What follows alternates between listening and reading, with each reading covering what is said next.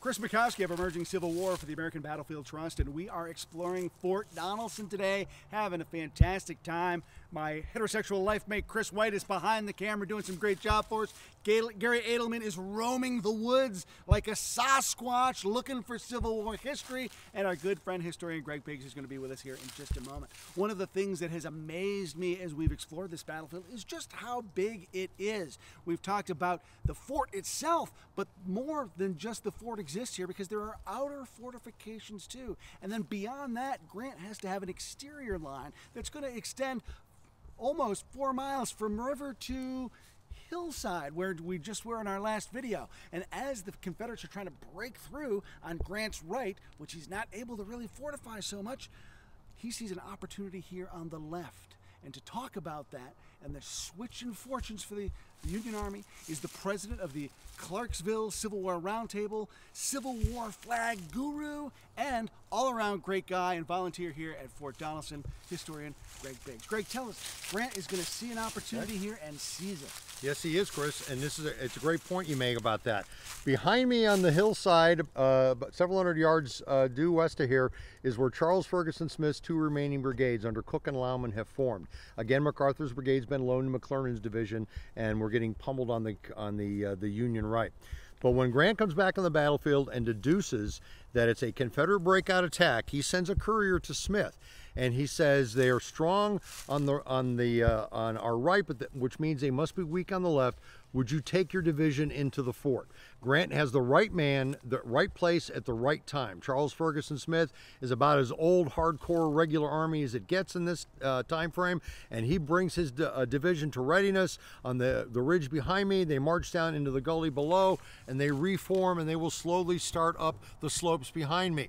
They will order their men to load the muskets, but to keep them uncapped because he does not want them to stop and engage in a firefight. He wants them constantly moving forward. What the Confederates have done is chop down the trees to my front and interwoven them like this as chevaux frise to break up the shoulder to shoulder Union infantry formations. And as those linear formations hit the beginnings of the trees, the nine companies of the 30th Tennessee that are brought out from Fort Donelson proper be, uh, behind Chris here on the camera, uh, man what had been held by Simon Buckner's division earlier that morning.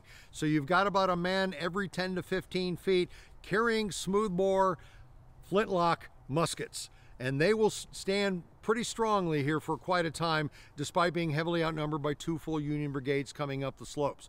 And as they're moving through, uh, uh, Charles Smith was long, flowing white mustache with his saber out. Uh, he'll be swatting guys on the rear end and saying, I'll have no skulkers in my army. Get up those slopes. Come on, men, you volunteered to die for your country, and now you can. I'm not sure that would inspire me to lay my life down, but this was 1862, a different time.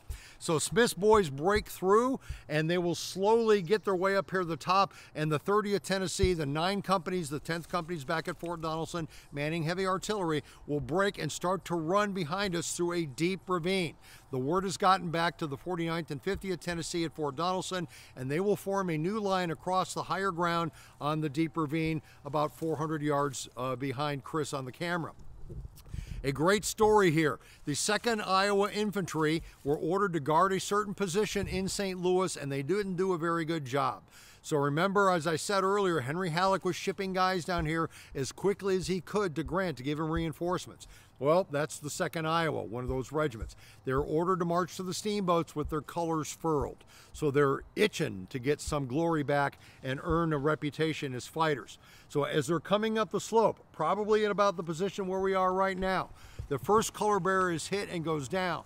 The second color bearer picks up the colors and carries forward till he's hit and goes down. The third color bearer goes down. And finally, the last color bearer to pick up the flag, a gentleman named Voltaire Payne Twombly carries the colors up and he will take a shot in his chest that hits uh, hits something that stops the bullet and it knocks him down. He picks up his colors and he runs forward and slams them on the outer works to my right and to my left. You can see the Confederate outer works as we pan the camera this way a little bit.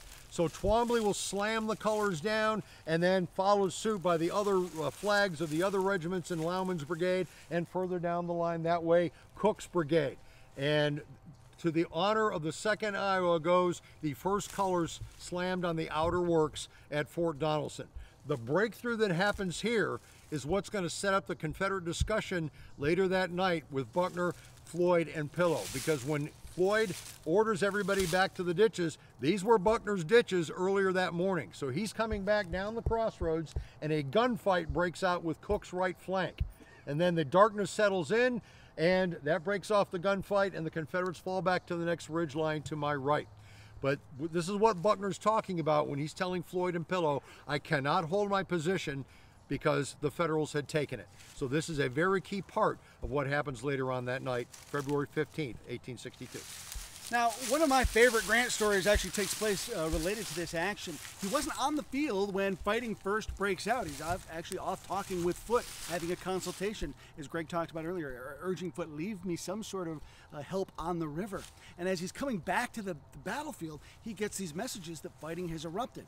And as he's starting to give orders and, and take charge and come up with some sort of response to it, he's sketched holding a cigar on horseback talking to uh, some soldiers and passing out orders. Because of that sketch, admirers of Grant start sending him cigars from all over the country. And so that becomes sort of the birth of Ulysses S. Grant's cigar fascination. Did he smoke 20 cigars a day, as is alleged in the wilderness? That was probably his maximum. But he's got a lot of cigars because people saw that sketch and sent them to him as their way of saying, thanks for your good work. I'm going to bring Garry Adelman on here for a moment because as you have been investigating the woods, looking for Civil War history, you've had a light bulb moment. You know, yeah, and as I've been walking those woods with maybe with night vision goggles, I won't confirm any of that, but here we are at, you know, talking about one of the real Civil War actions of Charles Ferguson Smith. And you know, you might, he's got a varied career, but his Civil War career isn't so substantial. His demise does not exactly, you know, result in him being lauded as a hero despite anything he may have done. But